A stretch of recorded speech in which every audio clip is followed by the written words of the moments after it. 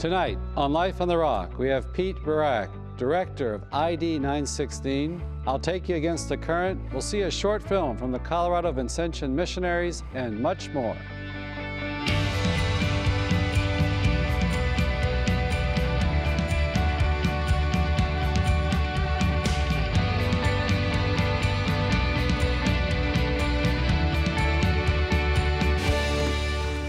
Welcome to Life on the Rock. Tonight our guest is Pete Burak. He is the director of ID 916.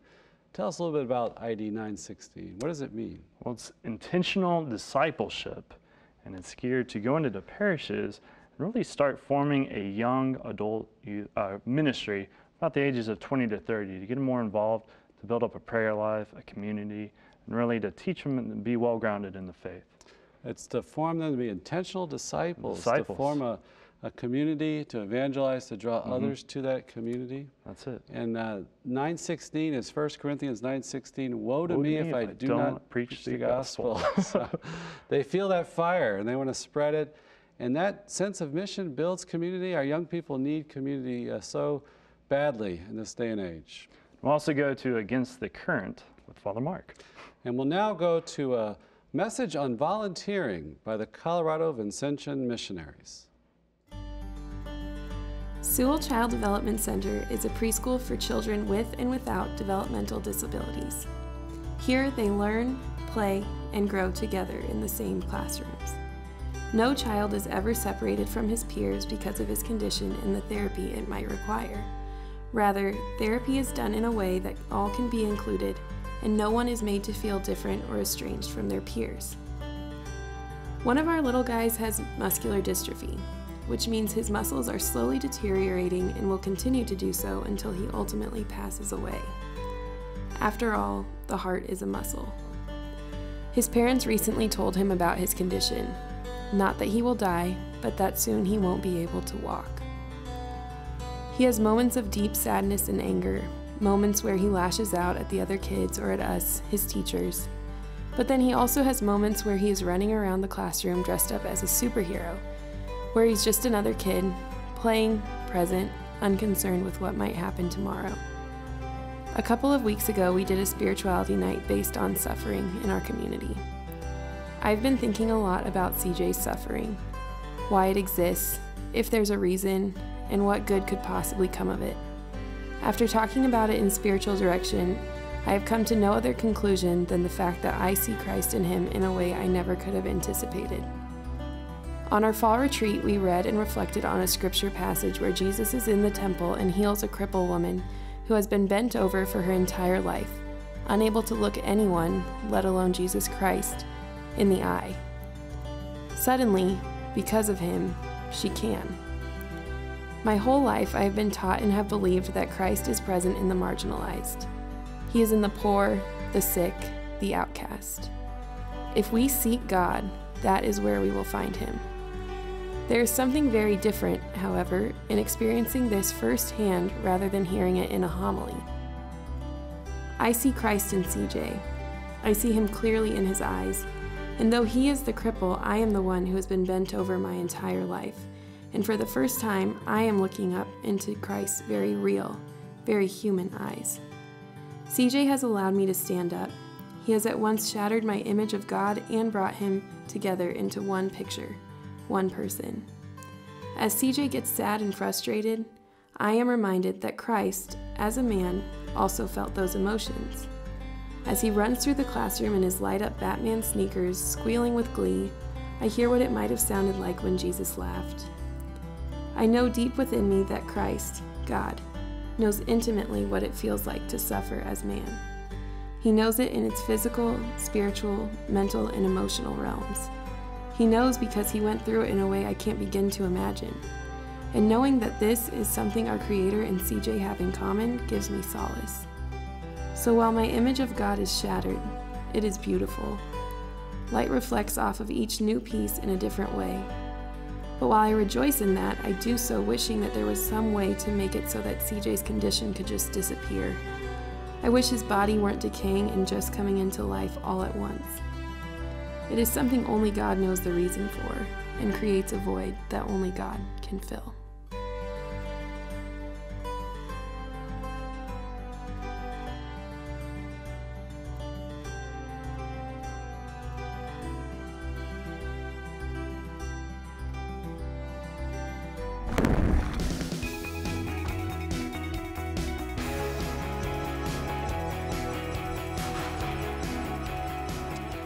Pete, welcome to Life on the Rock. Thank you. And you are the director of ID 916. That's correct. What is that? Yeah, great question. So the our mission is to form young adults into intentional disciples of Jesus Christ. Okay. Uh, the ID stands for our identity. Okay. Is to be intentional disciple, and then the 916 comes from 1 Corinthians 9:16, where St. Paul says, "For if I preach the gospel, this gives me no grounds for boasting." For necessity is laid upon me. And then the part that really struck us was, Woe to me if I do not preach it. And the idea being that preaching the gospel wasn't something extra that St. Paul did, but intrinsic to who he was as a disciple. That's right.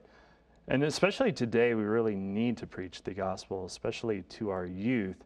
And what part does ID 916 play in reaching out to the youth? Yeah.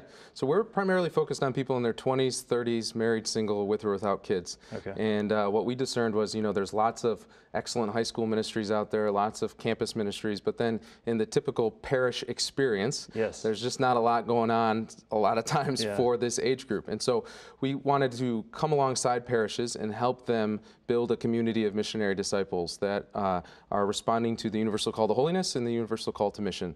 You know, the great commandment, love God with all your heart, soul, mind, and strength. So we want to help young adults grow. We want to help them grow in holiness, grow in an understanding of the faith, grow in relationship with each other, and then ultimately respond to the universal call to mission, the Great Commission, to go make disciples of all nations. And so we want to do that right in the heart of a parish, specifically targeting this age group. Okay. And what are what are the four pillars the ID 916 way? Yeah, great question. So, uh, you know, if we say we want to help young adults become intentional disciples, well, then what's an intentional disciple? Right. Right.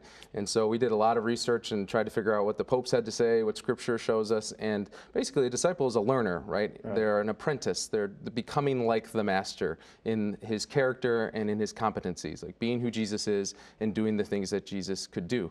Um, and so we tried to pick out kind of four areas that we wanted to focus on. The first is conversion, second is communion, third, orthodoxy, and the fourth, mission. So a disciple is converted, living in communion with other disciples, embracing the full teaching of the church, and then actively engaged in the mission of his or her master, which is to seek and save the lost. Especially that last one, really being active and how important it is to really be active in the parishes. Can you kind of talk about that? Yeah, so, you know, often we, we think of church Yeah. as this thing we attend where we receive something. Right. And then the rest of the week we kind of do our own thing, right? Yes. And if we think about a, prayer, a parish properly understood, is not just the four walls of the building, but the whole geographic area that the parish is responsible for, all the souls in that area. And so if you think about church from that perspective, it, it flips it on its head that we come to uh, the parish for Mass and for the sacraments and for f- community life and things, but ultimately to be launched out. You think about how Mass is, is ended, go in peace, you know, go build the kingdom, go out and share the good news with others.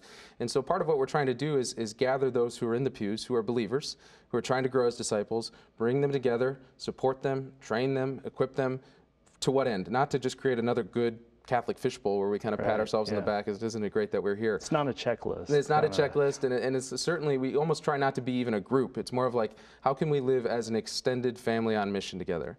Living common rhythms, supporting each other, bearing each other's burdens, really living an Acts 2 way of life uh, where we're deeply integrated into the culture, but living differently and trying to be, you know, the salt of the earth and the light of the world.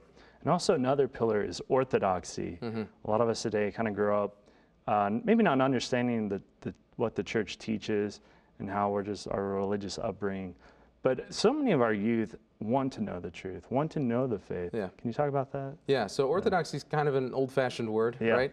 And then sometimes misunderstood. It, this is not so much a kind of a, an angry, kind of uh, re- overly legalistic Right. kind of religiosity that we're talking about. We're talking about right worship.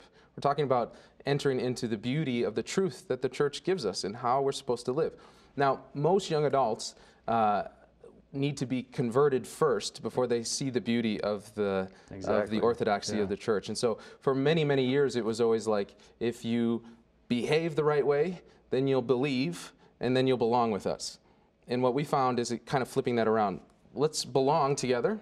let's then lead you into belief. And then we're, we're going to talk about how we need to behave. Yeah. Uh, let Jesus be the filter by which we see the ways we're supposed to live our life, as opposed to just a set of rules and kind of this moralistic don't run on the grass. Well, it's like, why shouldn't I run on the grass? Because we said so, you know. and so many of us who were raised in the church and went through good catechesis even uh, were catechized, but never evangelized. They were never introduced to a, a living, Right. beautiful relationship with Jesus. And sometimes even here, you're just kind of sacramentalized. Yeah, But nothing really steeps into the heart. right. And uh, so I think, yeah, teaching the faith, that's so important.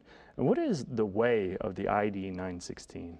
Yeah, so we, we tried to get as practical as possible with Yeah. people in terms of there's a lot of big concepts we can talk about, but then like at the end of the day, what do you do? You know? And so we kind of laid out a couple different things. We want you to be praying, we want you to be studying, we want you to be connecting, and we want you to be giving. So praying every day, and, and each one of these can be catered or kind of personalized to your state of life, uh, your work rhythms, all these things. But every disciple should be praying every day. Every d- disciple should be studying the scriptures and studying the, the truth of the faith. Every disciple should be connected with other disciples and, and running together and, and supporting each other and living in the light together and holding each other accountable.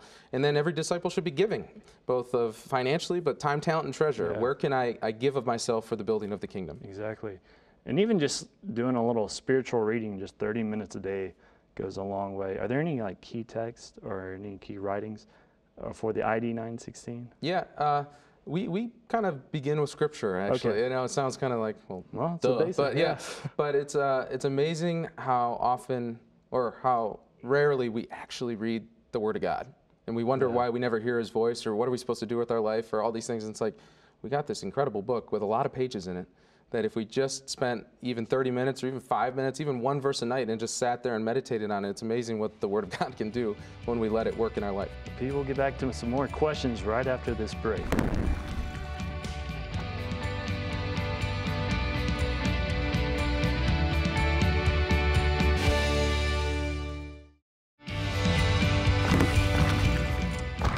Pete, can you talk a little bit about the chapters associated with uh, ID 916? Yeah, absolutely. So what we've done is taken what we experimented with in Ann Arbor to help young adults become Mm-hmm. intentional disciples, and uh, taken the principles and brought them to parishes and established partnerships with them, which we call chapters. Okay. And so currently we have 17 chapters across the country, and some of them are a single parish, or some of them are multiple parishes working together. And basically, we come alongside them and do three major things. We want to help them build a leadership team of young adults and train them and empower them and equip them to really run the thing in the heart of the parish. Secondly, we build a, a monthly meeting we call a Disciples Night, where we have mass, dinner, and a talk. And this is something EWTN would like. We broadcast a talk live out of Ann Arbor the oh, first wow. Thursday of the month so that our chapters don't have to feel the pressure Okay. of finding a five star quality speaker every month. We do that for them. And so our chapters all over the country have their own mass, their own meal, and then they watch the talk that's happening live and tweet in questions and engage that way.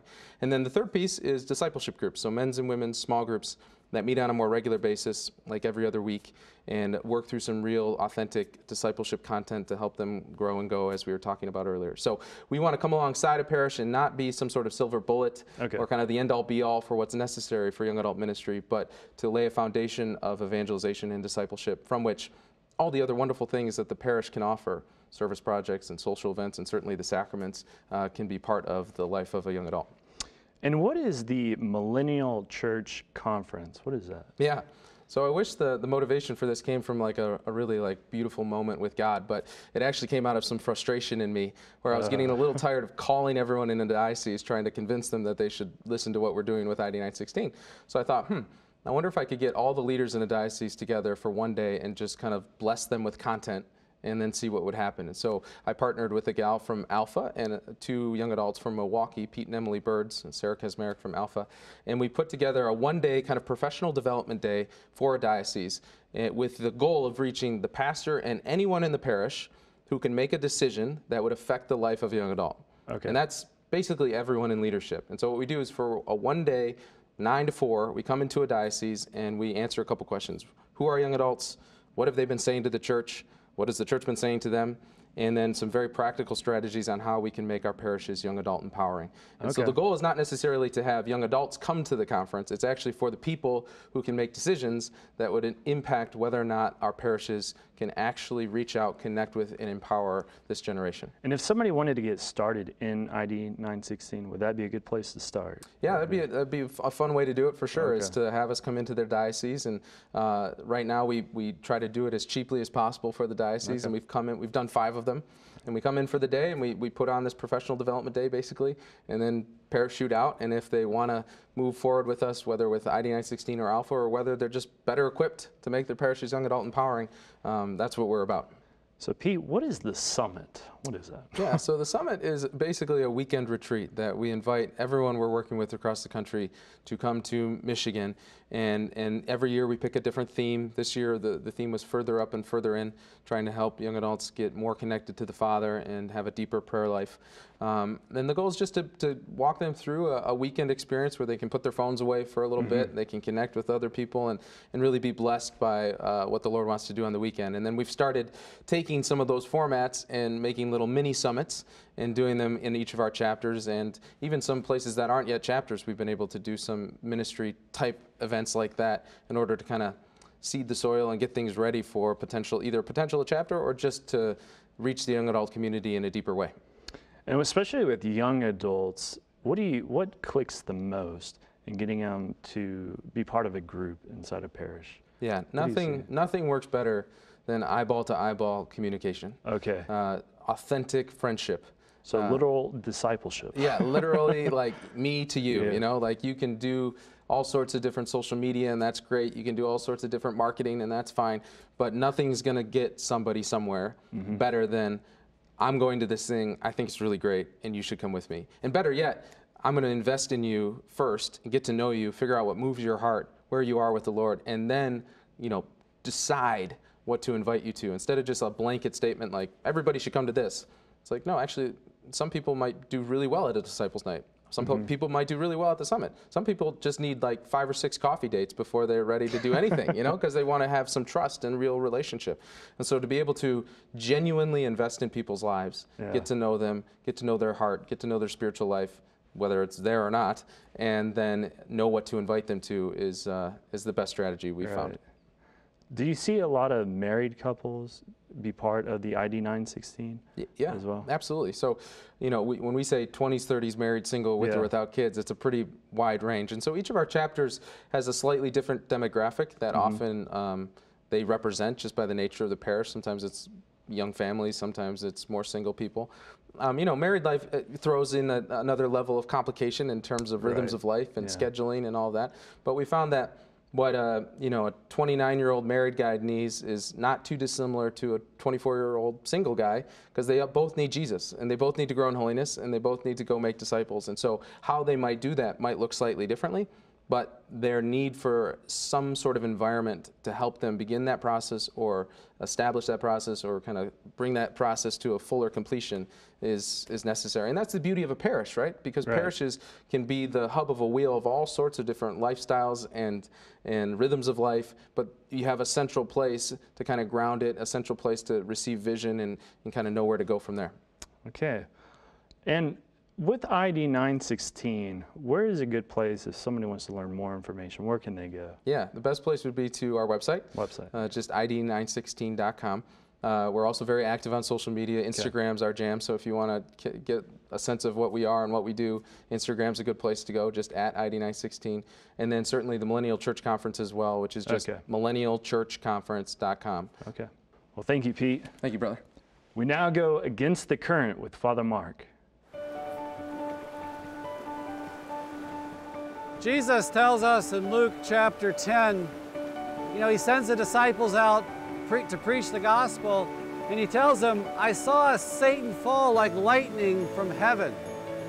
That he himself rejoiced in their victory in proclaiming the gospel over Satan. That proclaiming the gospel, you know, defeats Satan. And he rejoiced in that. We have to realize that our struggle is not just against the world or against a worldly way of thinking, a worldly mentality, as Pope Francis says, but there's an angelic, a personal angelic being that's opposing us. He can make suggestions in our mind. He can prompt us. He can tempt us. He can orchestrate situation, situations or circumstances that can create chaos and havoc. You know, St. Paul tells us in Thessalonians uh, 5 6 that we are to cultivate all that is good, to rejoice in the good in the world. You know, so much time there could be a, a celebration of evil, of chaos.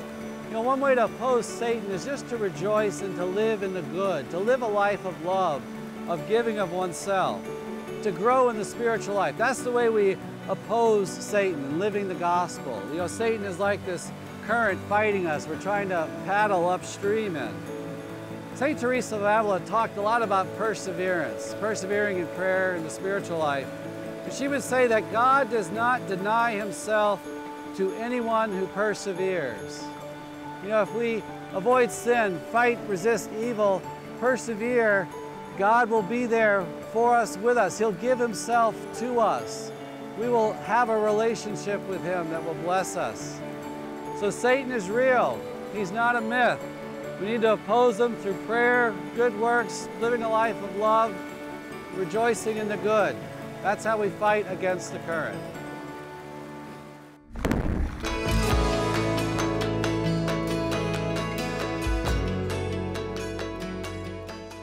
What a great show we had tonight. Uh, Pete was a great witness, and it just brings to mind for me, too, just how important ministry to young people is in our church today. You know, talking about the activity of Satan in the world, he's really going after young people today. And there's so many things in our culture to lead young people astray. Pete is there with his organization, reaching out, trying to, to disciple young people. What a, so needed in the It church. is.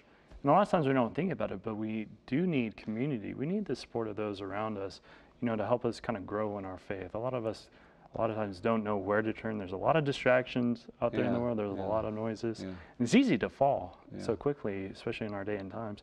Just turning on the TV, who knows what you'll see. But having that community and being part of that, especially when you grow and take on a more active part in your faith, you know, and to reach out and to uh, really to go out there and to, to strive to be a, a Catholic that wants to be engaged in their faith. Right. I hear it all the time from 20 and 30 somethings. There's nothing for me in the church. You know, I feel like I'm just kind of flailing out there. And there's no sense of community. Loneliness is high, anxiety is high among our young people. Depression. Depression. Yeah. And what I, one of the things that really intrigued me about Pete's program there is that in the parish it forms a leadership team to form these 20 somethings, 30 somethings. Mm-hmm. So these men and women have to step up to be mentors to help these young people be intentional disciples, to make that decision to follow Christ. And that takes some self gift Yeah. on the part of this team and the whole parish to support them. And that, that Vincentian missionary uh, video talked about volunteering and, and how discovering Christ in the marginalized. Mm-hmm. And I think our young people today, you know, are hurting in so many ways. Oh, yeah. And they need the gospel presented. They need to be mentored. They need to be shown a better way. And certainly in serving them, we find Jesus in our own. And there is no sh- shortage of suffering in our world today. Mm-hmm. And part of, you know, living out our Catholic faith is embracing that cross. And it is hard to do, but we have to embrace it. And that's why we do need a community. Yeah. We need others to reach out to us, and we have to reach out to others Yeah. too. That's part of it. And that link between evangelizing and community. Community, yeah. You know, they're always interconnected. You know, we, we evangelize, we invite people into the communion Mm-hmm. of the church. We foster that communion by going out. It strengthens our own faith. And so it, it reinvigorates the parish and we as And Christians. a lot of people just don't know. Maybe they've never had Jesus preach to them or Yeah. anything taught to Yeah, them. There's yeah. a lot of that too. So So that's our into the vineyard challenge is to invite someone to church. You know, accompany them in some way, help them in some way to introduce them to the faith. So many people need to hear the gospel. They need to be invited to this mm-hmm. communion, this community we're talking about. So that's your mission. That's your challenge this week. Invite someone to the church. And may our Heavenly Father shine His face upon you. May He give you His peace. May Almighty God bless you, the Father and the Son and the Holy Spirit. We'll see you next week on Life on the Rock.